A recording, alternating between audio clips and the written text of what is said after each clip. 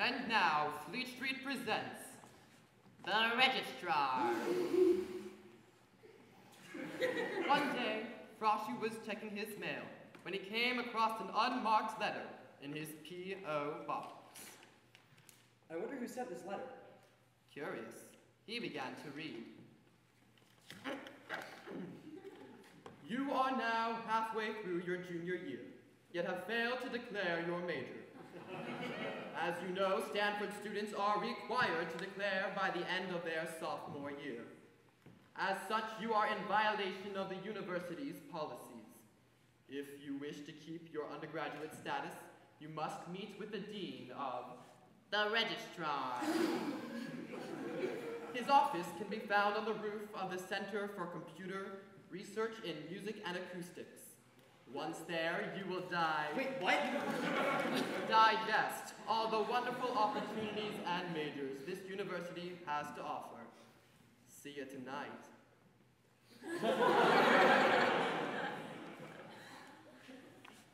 Curious, but slightly aroused, Roger went back to his dorm and encountered his good friends, Junior, Senior, and Harold. Hey, Frosh, thinking about hitting up SAE later, the all campus. I, Gonna I, join us? I wish, but I can't. I'm meeting with the dean of the registrar. What? Wait, you got a letter from the registrar? Yeah. Oh my gosh, dude, you gotta be careful. I heard they make you call your parents and, and tell you that you didn't declare. I've heard they make you sit alone in a room without food or water. I've heard that they surgically remove your earlobes. and they put them on a shelf with, with all the other earlobes. and they grab someone else's earlobes and, and put them on your ears. Guys, I'm sure it's not that bad. Little did Frosty know what was to come.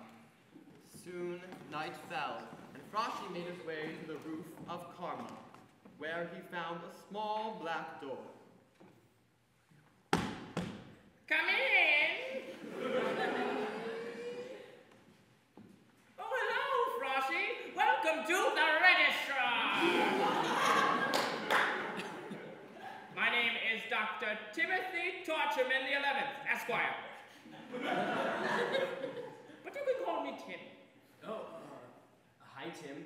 That's Dean Tim to you. Now, Frosty, do you know why you're here? Because I haven't declared my major yet. Precisely!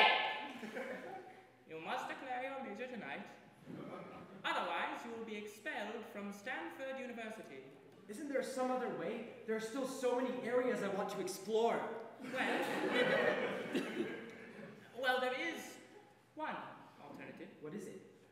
Long ago, James Stanford laid out three tasks that any Stanford student should be able to complete before he graduates. Unfortunately, these tasks were impossibly hard, so we substituted them with our current graduation requirements. If you are able to complete all three tasks, you may graduate without a major. A caution, however, Frosty! No one in the history of Stanford has ever been able to complete all three tasks. With this in mind, do you accept your mission? I do. Okay then. Ah!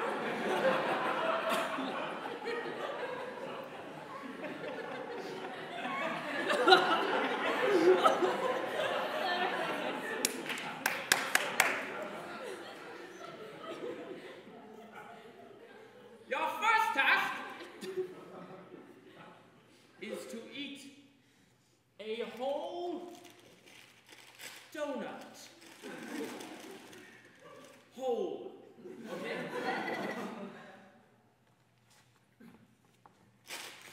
Very good, Frosty.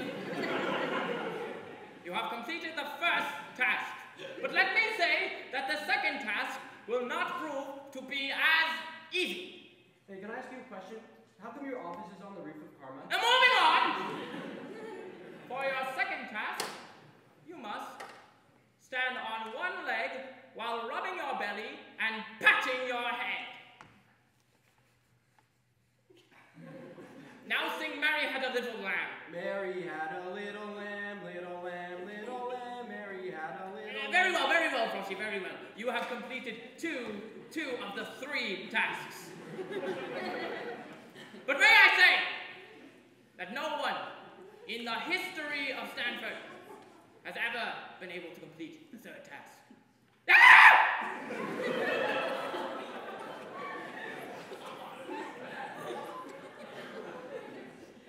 Are you sure you wish to continue? Bring it on. Okay then. For your third task, you must watch Mehran's CS 106A lecture at half speed.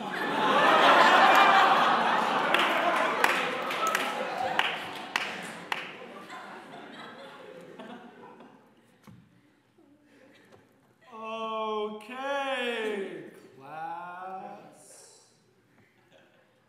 Today we'll be learning about if statements. Oh God, make it stop! But that's not important. Okay, okay, you win.